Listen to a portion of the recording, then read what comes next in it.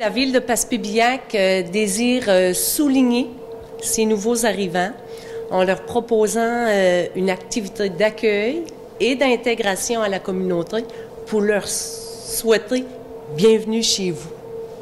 Puis ça va avoir lieu quand au juste?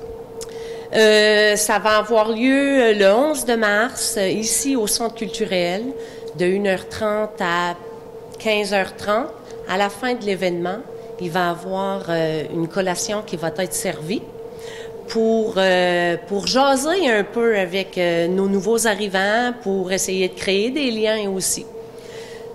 C'est une activité qui va être gratuite pour tout le monde. nos places sont limitées, donc ça va être important pour la population d'appeler ici à la ville pour réserver leur place.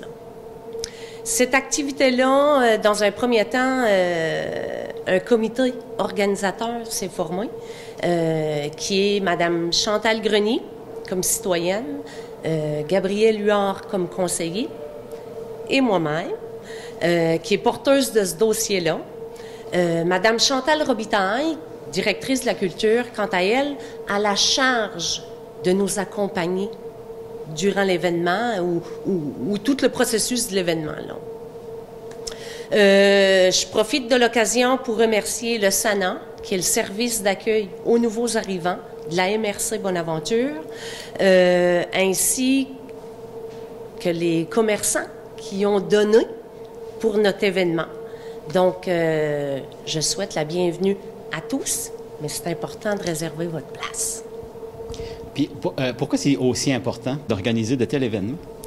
Bien, ça va être un moment pour euh, se rencontrer, rencontrer nos nouveaux arrivants, puis d'échanger avec eux autres aussi. C'est une occasion parfaite pour euh, faire découvrir la ville. que ce soit au niveau de ses services, ses activités, puis même à travers son histoire. Donc le bingo, ça va être l'événement euh, idéal.